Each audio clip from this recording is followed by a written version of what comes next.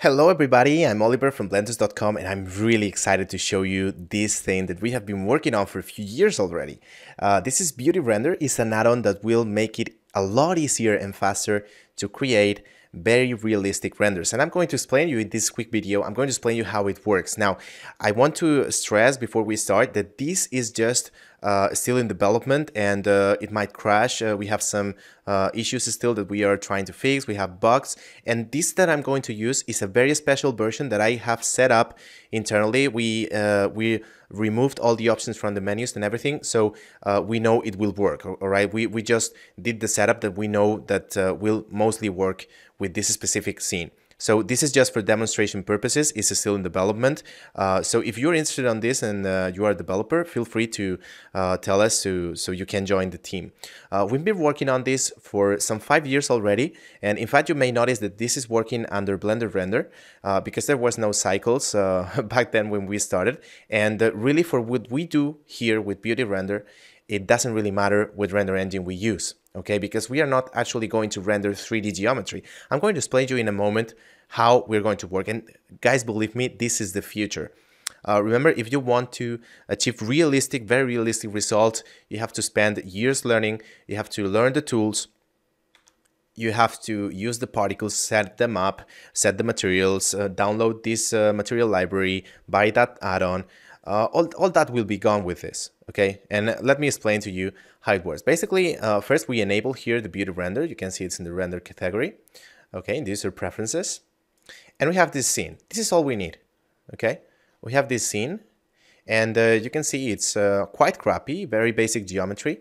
But this is basically going to define our scene. We could be more specific or we can be even less specific than this. Okay, the more specific we are, of course, the more defined the results will be. But in this case, for demonstration purposes, this will be enough. So the only thing we need is several meshes.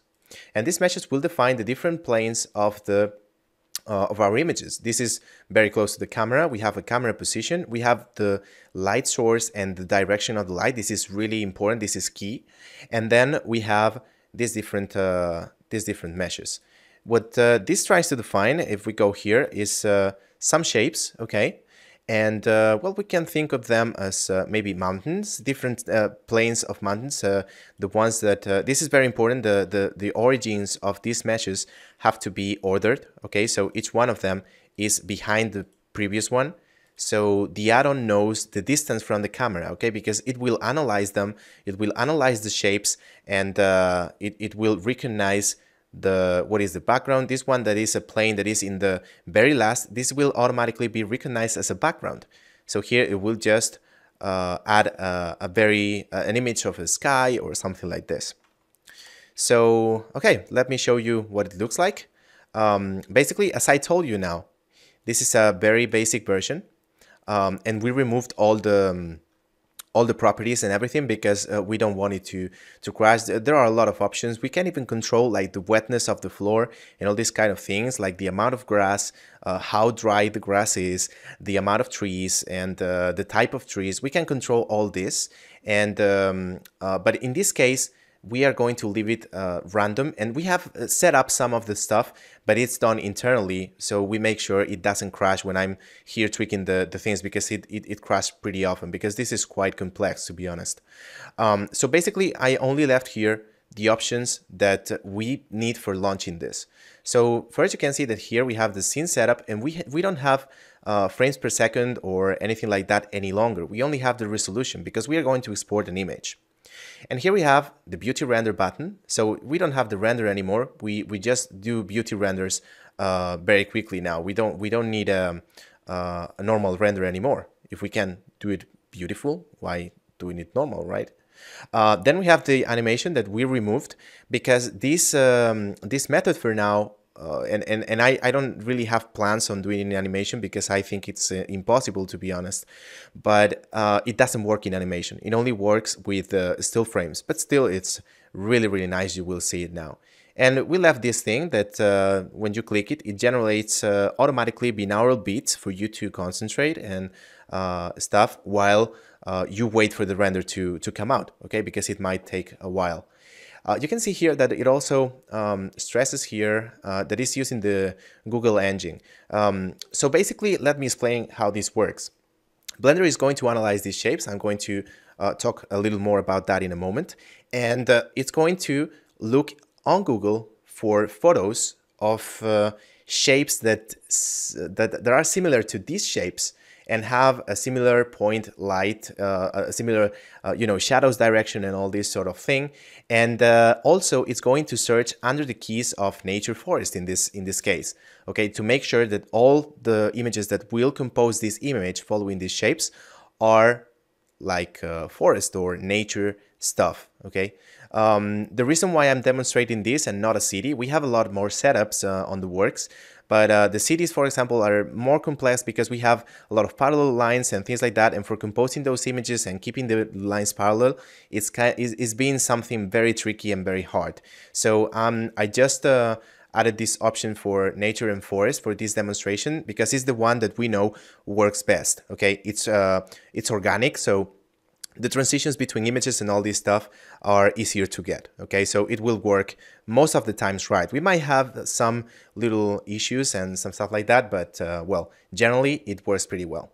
So let me just click on uh, Beauty Render and let's see the magic happens. Okay, so I, I basically accelerated a little the uh, process that you can see here, okay, because it uh, it takes a few minutes. Uh, this one uh, particularly took some 10 minutes, okay? Around 10 minutes more or less. We still don't have the interface uh, to show the time uh, on the on the screen, but it took around 10 minutes, which is not a lot for the kind of realistic render that we are going to get. So now, as you can see, um, what you're seeing on the screen is basically uh, Blender analyzing the geometry, every single vertex, analyzing the shapes, analyzing the direction in which uh, they are looking for, analyzing the distance from the camera, all these sort of things, all these sort, sort of uh, parameters. So then when looking for photos, it's more optimized and it looks for the, um, for the uh, photos that adapt better to these kind of surfaces, okay? So once it finishes uh, analyzing the geometry, it starts looking for images that could feed that geometry and uh, based on the nature um, para parameters that we have set. And then it starts compositing. This is happening on the cloud. If you're interested on um, on the libraries that we are using and all this stuff, just uh, keep looking. I'm uh, giving you a link at the end. And uh, after the cloud computing is uh, more and more refined, it basically starts refining the solution, okay, and uh, basically merging all those images together. Here there are, there are easily some uh, between 50 or 100 images, okay, and they are just being mixed together. And then finally, it adjusts the color and everything, and voila, we have our final render. Now, keep in mind that all these uh, these things will be adjustable at the end. You know, as I said before, like the amount of trees in this case, or the wetness of the floor, all these sort of things to to make it more controllable and giving more options to the artist to control the result. Uh, also, if you don't want this uh, type of color adjustments or, or all these sort of things, just you, you will be able to disable them. For now, they are just enabled uh, for this demo purpose. Okay. So, um, so yeah, this is the render and let's take a look to the render. Well, as you can see, this is pretty powerful stuff. We just defined a few planes that I did in some five minutes. And here we have all these mountains and uh, these trees and everything. Okay, yes, there are some uh, some little issues still. Uh, keep in mind that this is a development version, um, but uh, you can see that this transition between these type of grass to the background is kind of tricky. Uh, maybe this tree here doesn't totally fit and you can see how the borders are not really well cut. Um, so there are some interesting things like this this tree looks like uh, it's, it's been cloned uh, a few times in the same spot, but still it gives a pretty nice result and very realistic and believable. Of course, there are some issues sometimes like uh, here looks like we have a, a little uh, you know, a little artifact in the cloning. Looks like maybe it tried to continue this um, this road on the other side or something like that. And here, this is something that that, that, that happens a lot of times. Um, that you know we find in the in the images that uh, uh, we scout on the email on, on the internet, sorry, uh, we see that uh, they they add some website or some photographer's name or something like that. And so uh, I don't know. I, I will I will probably end up developing some option that allows us to break the copyright thing. So if it detects some text or something like that, it automatically cuts it from the image. So we can violate copyright properly. And uh, we also have uh, one last feature that I wanted to show you, which is the what we call the tone generator. And the tone generator's purpose is to generate a ton of tones. Uh, this may sound a, sound a little tricky, and uh, it's actually true. It can generate a lot of tones in our image. Um, now, in this case, I have set it up so it just um, adds one, so we have to make an effort to find it. So let's see where tone is. Where are you, tone? Where are you? Maybe are you hidden around here using Autodesk? Maybe here down in the trees? Where are you, Ton? I'm to find you. Oh, here you are. There is our Ton generator. uh, it's uh, it's great because it basically adds life to your scene. Okay, so in this case, for example, that we just have a nature scene and we don't have any life on it. We don't have any birds or any persons or anything. It just adds a little tone.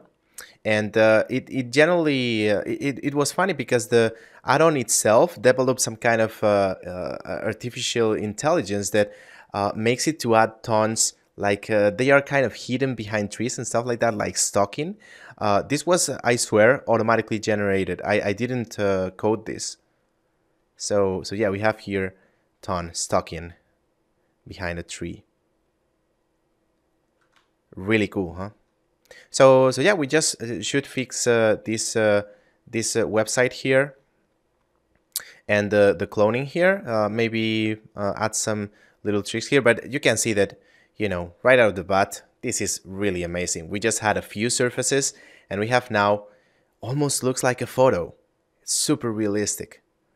The, there are little issues with the coloring here in the background, uh, sudden changes in the color, but uh, it kind of looks like we have shadows from the clouds. So it's a, a happy mistake. Let's call it like that. Okay, so I really hope you like it. If you want to know more about what we are doing, uh, keep in mind that this is just a little demo. Uh, we are working on a lot more uh, features, so uh, feel free to visit blendtuts.com slash beauty render and uh, there you will find more information. You will be able to download this version so you can play with it uh, a little bit. And keep in mind that this is still in early development. Uh, even if we have been doing this for years, this is uh, really, really uh, incredibly difficult uh, stuff. So, you know, keep in mind that it might crash. We have a lot of problems. That's why for this demo, I just use a very controlled setup. So, you know, I couldn't change anything or anything because uh, it just is the default setting so we know it works okay? So uh, who knows? Maybe try with your own surfaces and show me the results that you get. I, I don't know why I'm laughing. I'm sorry. Um, all right guys. So just happy blending. Goodbye